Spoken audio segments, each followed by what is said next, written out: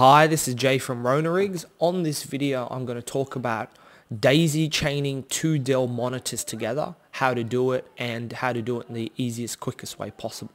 So a little bit of background. Uh, a number of Dell monitors have the ability to daisy chain two of them together. So the common monitors that uh, we have inquiries of about this is the U27, so the UltraSharp Dell U27 23QE and the U 3223 QE. So they're the same type of monitor, they're just different sizes. There's a couple of other monitors like the U43 QE, uh, sorry, U43 23 QE that you can do this with. And what it basically allows you to do is to connect two monitors together and have one cable coming into your laptop uh, to make a really clean setup. So there's five steps to this process. There's no real guide on the internet that makes it really quick and easy. So I thought this would be a, good video to do.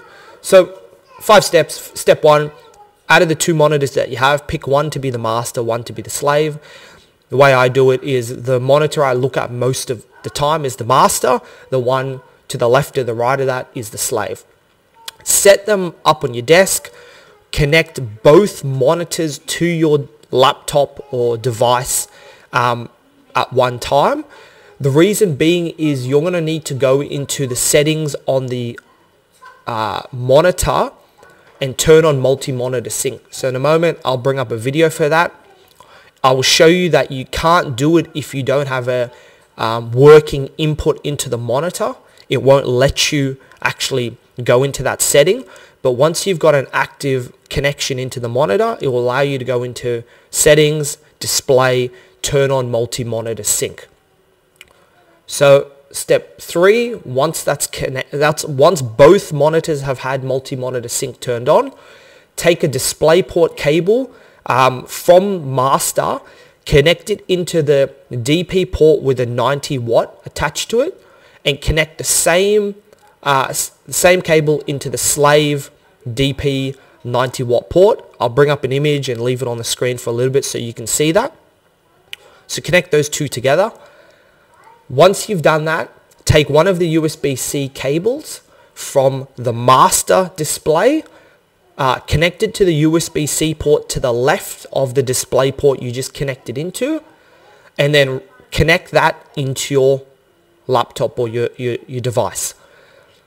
Once you've done that, everything should load up. Um, fifth step is check the resolutions to allow you to make sure it works as it should. And that's it. So a couple of troubleshooting pieces, a couple of fiddling bits that we've had to do. Um, it makes it easier once you've connected everything to install the Dell Display Manager. It will let you do some fiddling with resolutions and different things like that on your computer as opposed to having to go into the monitor and press the little button and so forth. Uh, second is, does this work with HDMI into your laptop and so forth?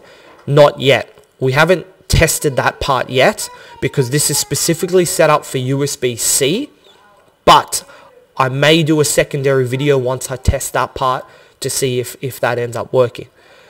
Uh, third is, I suppose that's it. Sorry, there's no third part. So any questions, let me know in the comments.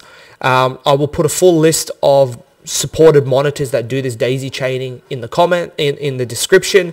Anything else, feel free to uh, hit us up. I'm Jay from Rona Rigs and uh, thanks very much for your time.